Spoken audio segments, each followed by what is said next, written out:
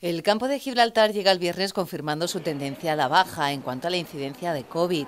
Este viernes confirma 33 contagios más, con 25.813 desde el inicio de la pandemia.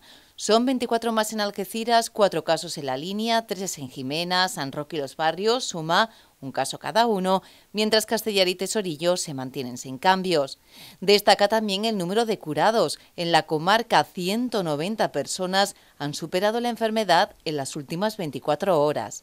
Hoy no hay fallecidos, por lo que se mantiene la cifra de 536 muertes desde el inicio de la pandemia.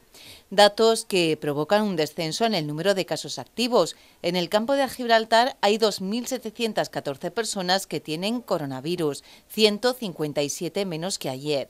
De esos, 74 corresponden a Algeciras, con 1.403 activos. Por último, la incidencia sube hoy en un único municipio, en Jimena, que roza ya los 500 casos por cada 100.000 habitantes.